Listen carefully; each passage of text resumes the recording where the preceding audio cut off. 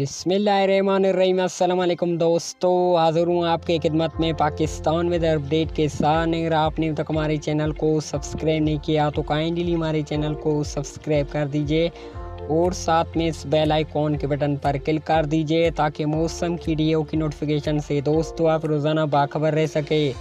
پاکستان والوں breaking news لو جی ایک بار پھر اپریل کے پہلے ہفتے سے بارشیں برسنے کو تیار، لیکن کہاں کہاں پر آج کی ویڈیو میں اس کے بارے میں آپ کے ساتھ رپورٹ شیئر کروں گا۔ سب سے پہلے آج کی موسم کے حوالے سے بات کرتے ہیں تو اس دوران آج ملک کے بیشتر شہروں میں زیادہ تر موسم صاف اور شدید گرم رہا ہے۔ خاص کر کے ملک کے جنوبی حصوں جس میں کراچی سمیت سندھ کے مختلف علاقوں، جنوبی بلوچستان اور جنوبی پنجاب کے تمام تر علاقوں میں آج انتہائی موسم گرم رہا ہے۔ دھوپ کی انتہائی شدت تیز تھی اور ساتھ ہی گرم بھی ہوائیں چل رہی تھی جبکہ درجہ حرارت زیادہ سے زیادہ پینتالیس سینٹی گریڈ تک ریکارڈ کیا گیا۔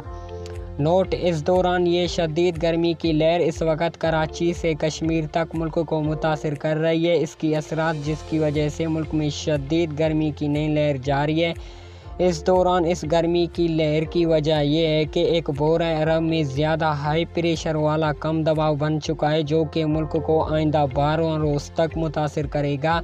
اس کم دباؤ کی وجہ سے مغربی برکھائی سلسلوں میں بھی آئندہ بارہ روز تک رکاوٹ ہوگی۔ بارشیں نام برابر کے ہوں گے، جس کی وجہ سے موسم خشکی خشک رہے گا۔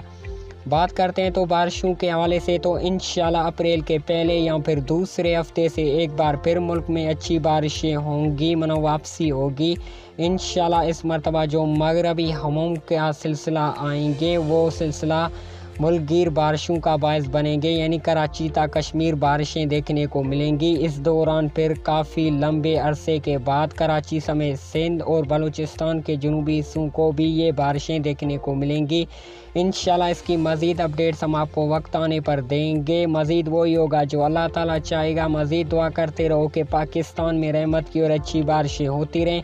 اگر آج کی ویڈیو پسند آئی تو اس کو لائک اور شیئر کر دیجیے۔ لائٹ مین تھنڈر سٹارم بارشوں کے متعلق روزانہ موسم کی اپڈیٹ جانے کے لیے ہمارا YouTube channel Pak weather met subscribe کرنا مت بھولے گا۔ تو مجھے دیجیے اجازت کل تک کے لیے اللہ حافظ۔